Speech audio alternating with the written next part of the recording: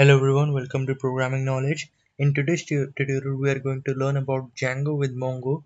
So basically in today's tutorial, we are going to connect the Django with MongoDB and I will uh, illustrate uh, all the process, how you can uh, create a MongoDB database and how you can connect that MongoDB database with your Django application. So let's get started with today's tutorial. The first thing we need to do, we can open our code editor and then we need to type the command pip install Django. So this would install the Django on our local machine.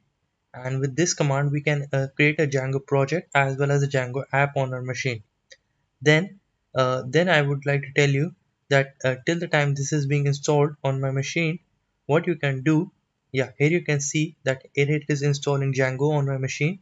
And you can install Django with the simple command pip install Django and then we have a MongoDB plus I will show you how the we can go. Here you can refer to this website. Uh, first this is the uh, website for Django. I have already told you how you can install Django. Then this is the website. From here you can install the MongoDB community edition. And this works as a interface with you uh, uh with the MongoDB database as a user interface uh, very similar to phpMyAdmin uh, which is used for SQL then this is the uh, package we are going to use. This package has a very similar name Djongo the word Djongo is derived from uh, like uh, uh this is used to connect Django with MongoDB. Uh, so Djongo is the package we are going to use. So let's get back to our code editor. So first what you can do you can connect to the uh, connect to the local host server using this MongoDB Compass Community Edition. And you can click on the connect button then this would connect to the local host. Now here you can see that it has been connected to the local host. Now what you can do you can create your own database. So let's click on here. Uh, so first let's continue with the installation part. So after installing uh, after installing Django you can install pip install Djongo.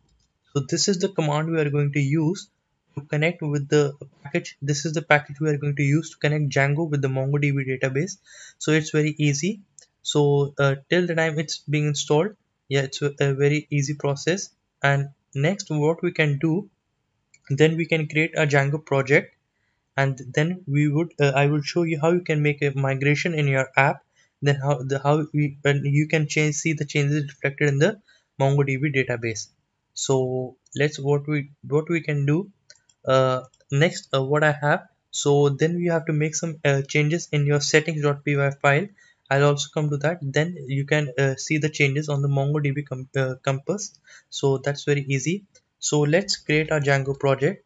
So I'll type Django admin start project a demo project. So I'll, I'll create a project. Then what you can do you can open a folder and I've created this project on my desktop. So here I can open it. So now the project is open on my VS Code.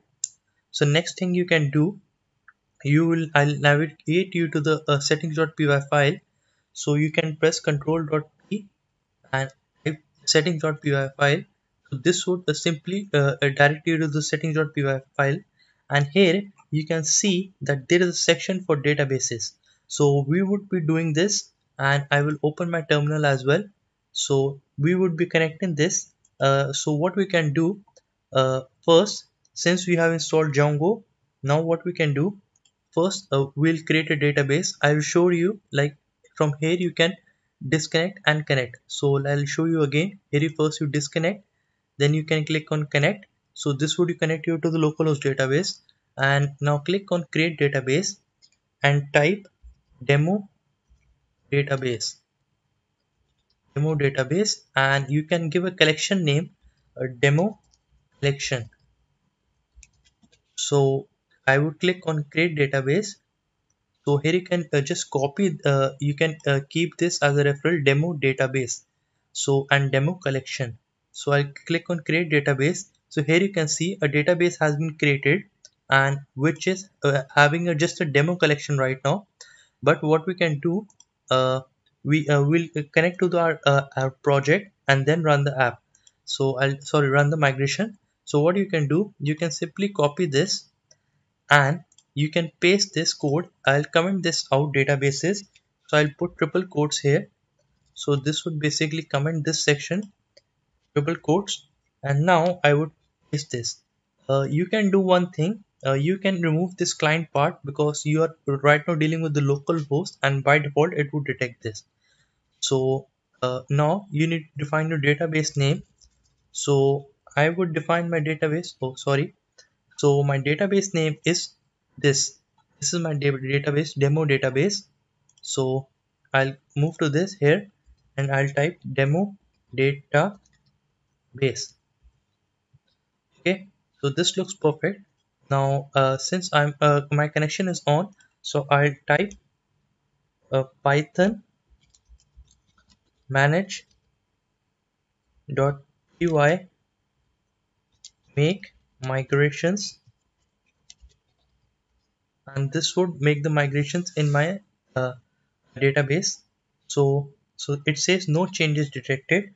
So uh, now I can type python manage.py migrate so here you can see the, all the uh, migrations uh, are being applied.